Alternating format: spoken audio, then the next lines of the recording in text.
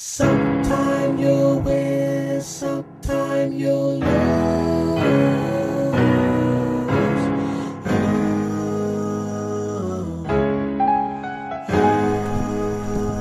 Was geht ab, Ray Charles?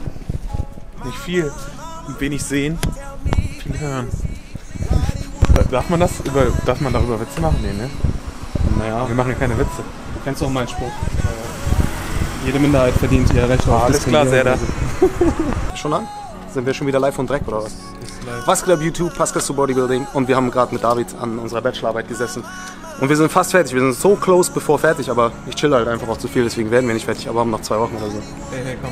Wir belohnen uns jetzt mit Subway, erst zu dem Upway, weil man muss wegen Ehre und später geht's ins Training. Für mich stehen wieder schwere Squats an, aber läuft, wir kriegen das schon hin.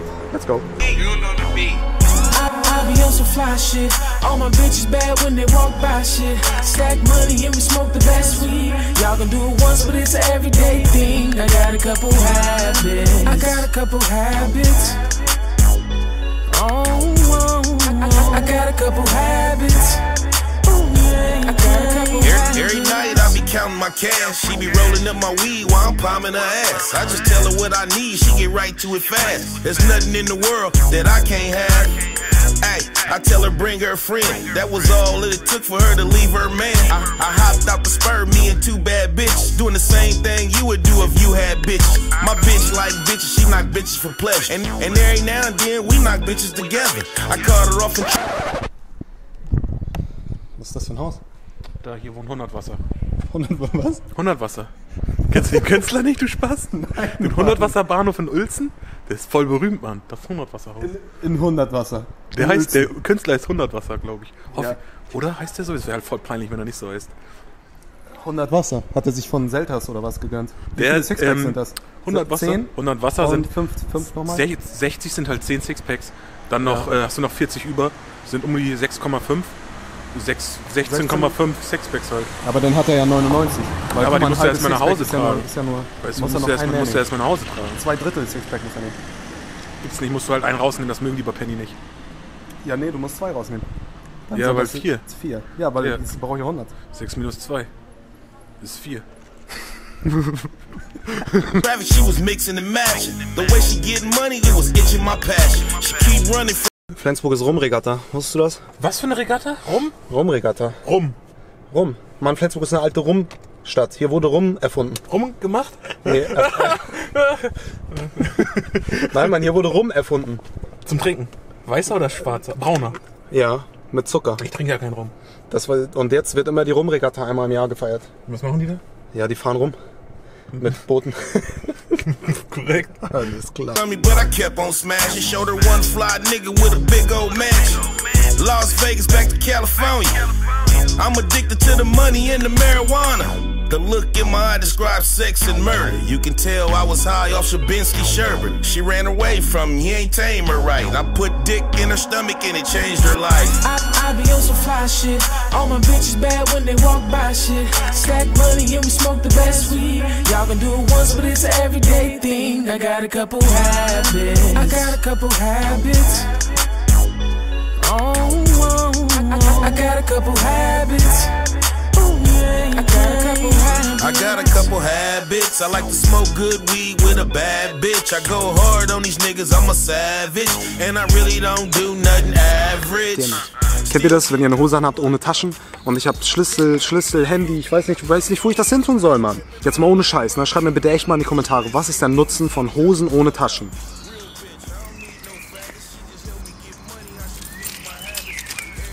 Why you do this, Nike? Nike, wieso machst du so? Already, bro, ich habe mir gerade noch meinen Booster reingefiestet. Und ich bin ohnehin hyped. Ich bin richtig gut drauf, keine Ahnung warum. Ich fühle mich aber auch richtig gut, habe mir zwei Restdays gegönnt, jetzt für das dritte Workout in der Woche. Und es stehen die Doubles an im Squat mit 222,5 Kilo Schnapszahl, check in Und ähm, wir müssen sie jetzt wegballern. Was aber eigentlich spannend wird, ist die Bench. Denn wie ich ja im letzten Video auch schon beklagt habe, läuft es auf meiner Bench absolut gar nicht. Heute sind es wieder 142,5 Kilo für ein Double. Double, ne?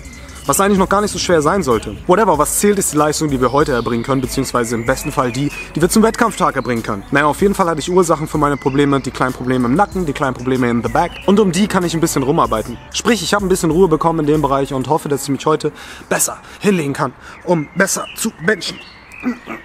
Alrighty, due to time issues ähm, kann ich diesmal wieder nur einen Workout im Video bringen. Und ich gehe jetzt rein, springe ein bisschen auf Boxen rauf, um mich warm zu machen. Hashtag Boxjumps in die Kommentare. Dazu wollte ich auch noch mal ein komplettes Video machen, warum es Sinn macht, sich so warm zu machen. Macht es überhaupt Sinn?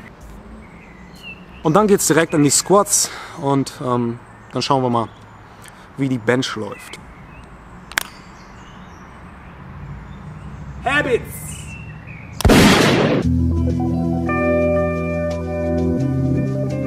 Check, check, check.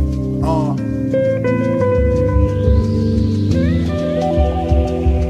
Sure the level's tight, Ali. Real tight. Check. Yeah, come, come now. Soul brother number two. I'm the one now. Sun up to sundown. Still kicking that shit. Put your gun down. I come in peace like a extraterrestrial being. Eat me a meteor and walk across the moon bare feet. Uh, But don't nobody rhyme like this no more. Alrighty, also Warm-Up ist durch und ich arbeite mich jetzt hoch auf, meine, ähm, auf mein Double mit 222,5 Kilo. Bin jetzt bei 170. Hab noch gerade ähm, vier Reps mit 140 gemacht. Ich arbeite mich immer so langsam hoch mit 100 und 140 und jetzt 170, dann 200 und dann mal kurz checken, was geht und ähm, dann geht's direkt auf die Fresse. Ist halt immer so ein bisschen scary, denn ich bin hier ganz alleine. What happens if I die? As you know, Juri Beuger stirbt lieber, als dass er aufgibt. If he dies, he dies. Call me the 2010 Rakim. I got soul, it's more store. Feel like a CVS open 24. Spent nights trying to overshadow my shadow for niggas trying to block my light like a solar eclipse. I bring a knife to a fist fight, and when I cut a record, so when I cut the cheese, shit, you know what it is. It's Mr. Absolutely the most incredible at this. So adjust your bass, your treble, and then. Yeah. Turn me up some. Yeah. Turn me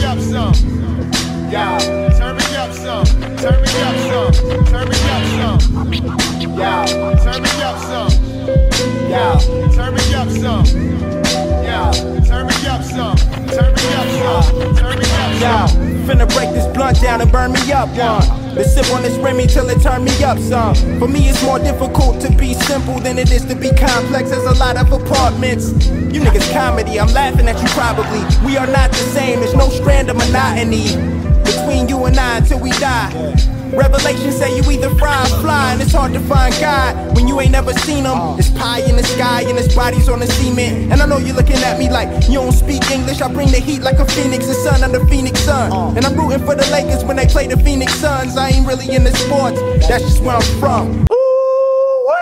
Alrighty, also einfach war der nicht. Er war sogar schwerer als das Double von letzter Woche. Allerdings sehe ich dafür ein bisschen meine Fokusprobleme zuständig, denn ich war ein bisschen overly hyped heute. Und ich weiß nicht, ob ihr das kennt, wenn man sich dann so ein bisschen zu doll hyped, dann schlägt sich das irgendwie wieder auf die Form nieder und hat irgendwie nicht so ganz gelaufen. Also meine Hüfte ist ein bisschen zu früh rausgeschossen und so, also fühlt es sich nicht so ultra super an. Aber ist okay, ich weiß, wo das Problem war. Ohnehin, es war ein Mini-Problem, aber man, you strive for perfection. Du möchtest es natürlich perfekt machen und dementsprechend muss man einfach sich selbst so kritisch gegenüberstehen. Außerdem darf man nicht vergessen, ich war die letzten Tage ja immer mal so ein bisschen skaten mit meinem Skateboard auf die guten alten Zeiten und ich bin dadurch ein bisschen kaputt. Also so die ewigen Landungen, weil man macht ja auch so Tricks und so.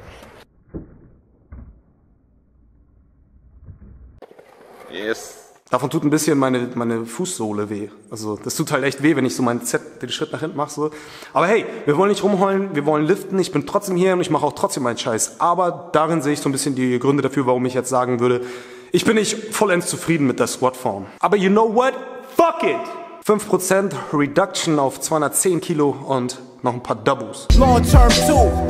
And if it's in your possession, then follow the directions, my dude. Yeah.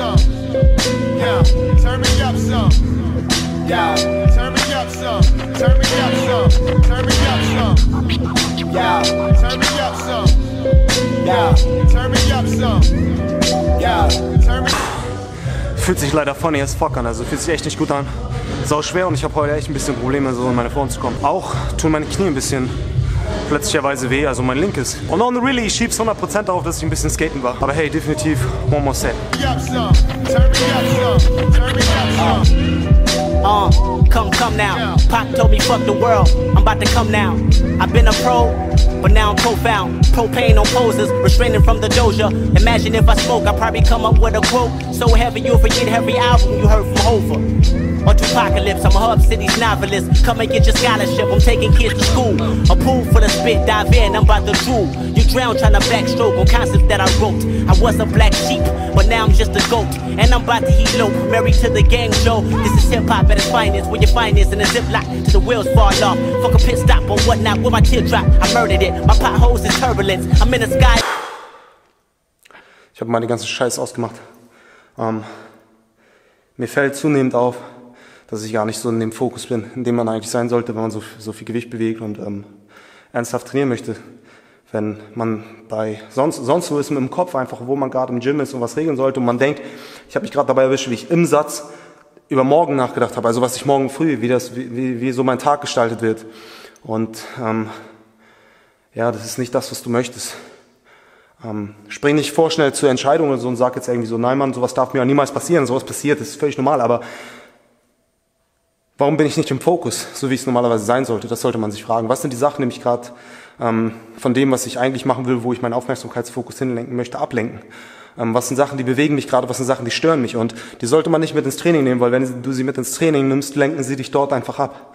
Das ist wie so dieses alte Sprichwort, man soll nicht mit einem Streit ins Bett gehen oder so als Eheleute, sondern das irgendwie vorher aufklären oder so, weil du nimmst es einfach mit, du nimmst es mit durch die Nacht, du nimmst es in den nächsten Tag mit.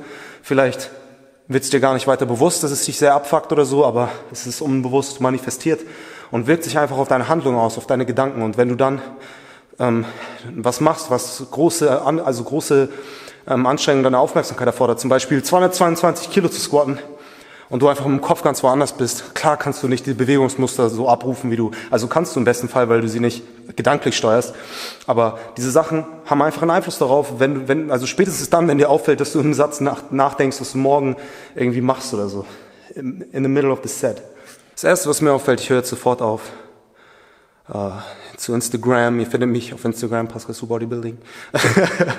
ähm, gerade mein Workout da irgendwie in die Story zu hauen oder so. Versuche ein bisschen Ruhe zu finden, die Kamera jetzt nur noch anzumachen für die Sets oder so, nicht mehr noch zwischendurch reinzugucken, wie die sah die Perspektive aus und schon in Gedanken im Video sein. Ähm, das ist natürlich eine Bürde mehr. Also von außen drauf geguckt sieht's leicht aus, aber es ist natürlich eine Bürde mehr, die man sich aufbürgt, wenn man noch sagt, ich verpacke das Ganze in Videos. Ich will's, ich habe Bock drauf, meine, meine eigene Entscheidung. Ne? Deswegen heule ich auch nicht rum, aber es ist nun mal einfach eine Bürde mehr und man muss halt sich bewusst werden, wie willst du im Fokus sein, schwere Gewichte zu bewegen, wenn du gleichzeitig versuchst, einen Film zu drehen. und ich habe einen hohen Anspruch an diese Videos und ich weiß, dass ihr das zu schätzen wisst. Aber das sind nun mal zwei Sachen, die sich ein bisschen gegenüberstehen. Ein bisschen Es geht beides. Es ist nur eine Frage der Einstellung, aber it ain't easy, man. Manchmal denke ich an diese Zeit zurück damals, als ich einfach trainiert habe und ich wollte gar nicht, dass mich irgendjemand sieht.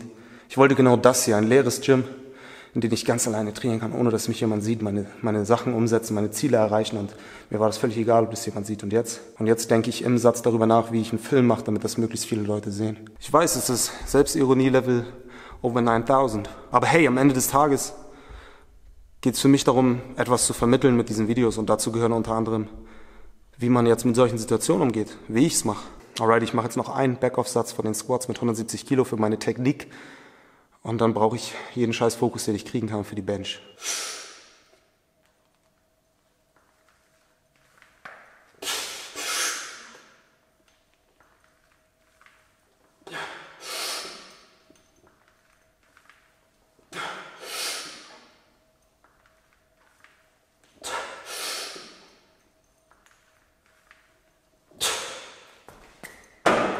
Was aber auch ein bisschen awkward ist, ganz alleine in einem Gym zu sein. Also wirklich ganz alleine bringt dich auch wieder so ein bisschen aus dem Fokus, weil du wirst irgendwie ein bisschen paranoid.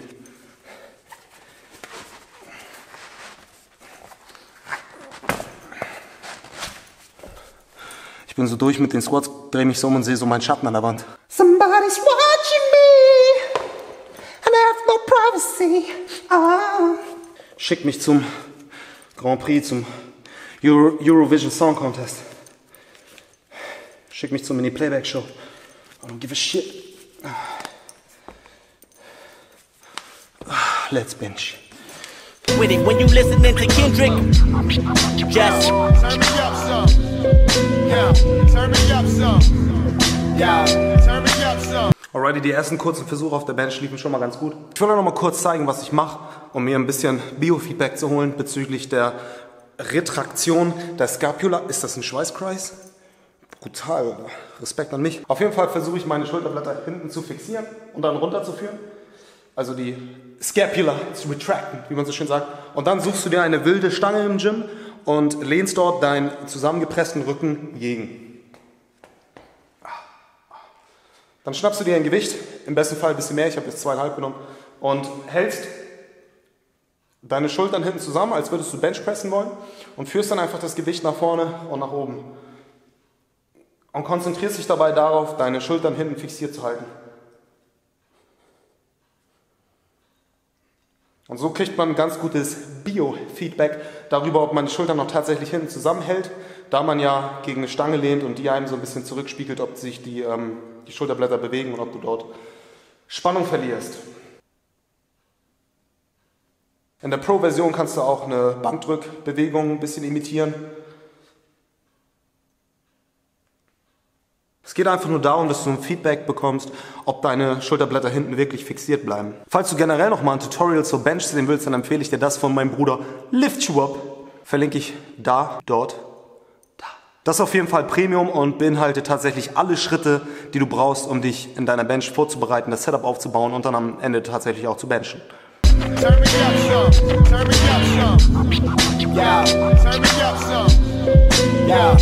me up. Turn me up some.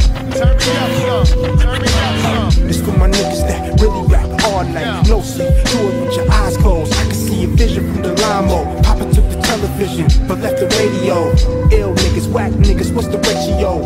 Is the shit degrading or inspirational? I have you.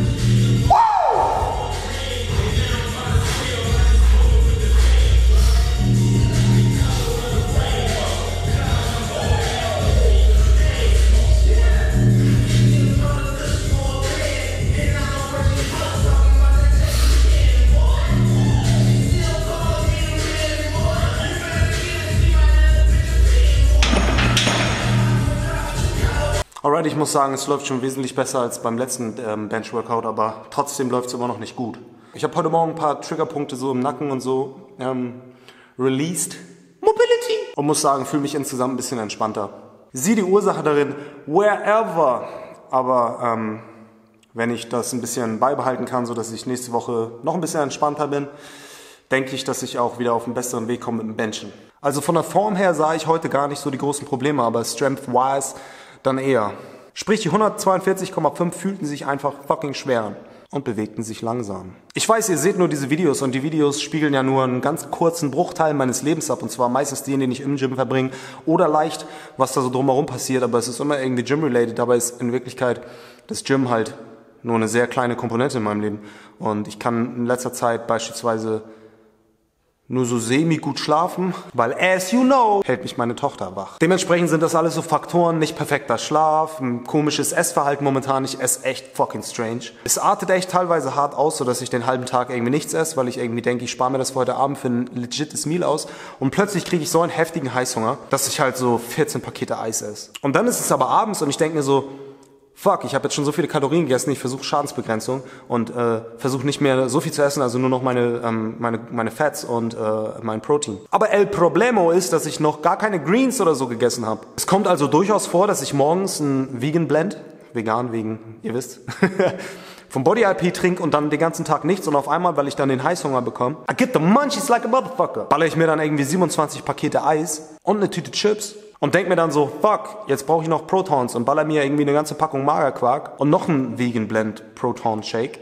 Und dann gehe ich halt schlafen, weil ich voll bin und dann fällt mir auf so, bruh, warum hast du gar keine Leistung? Scheiße mal, ich brauche Wärme in meinem Leben. Already, ich äh, verringere jetzt das Gewicht wieder um 5%. 5% von 140 Kilo sind 7 Kilo, 42, 142,5 minus 7,5 Kilo sind 35 Kilo, also 35 Kilo, 5% Low Drop.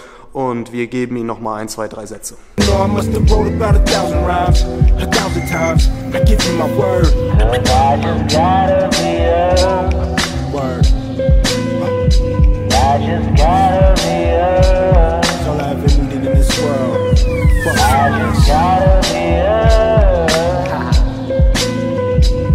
Said I gotta be. Yes, sir, I gotta be. Uh, Turn me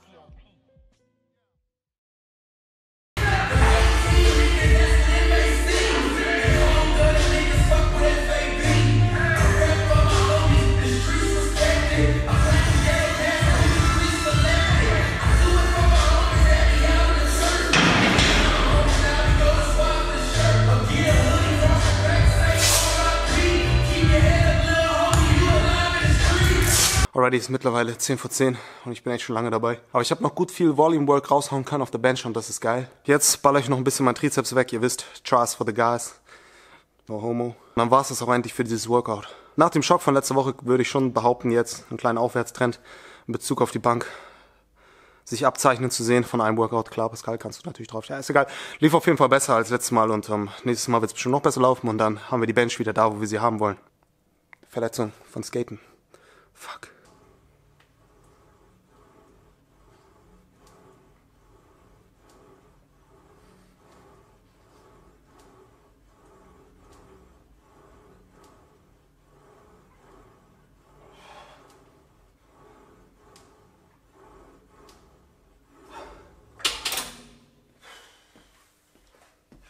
Alright, ich baller jetzt noch die letzten Sätze Tries raus. Hui, ist echt anstrengend. Und mein Homie Mike, mein alter Trainingspartner, eigentlich immer noch Trainingspartner, wir trainieren nicht mehr so oft, weil verschiedene Gyms, hat mir gerade geschrieben, dass er sich die Schulter zerstört hat und da irgendwie ein kleines Stück Knochen abgesplittert ist und eine Sehne entzündet, was wirklich wack ist. Also für den Fallen Homie ein Hashtag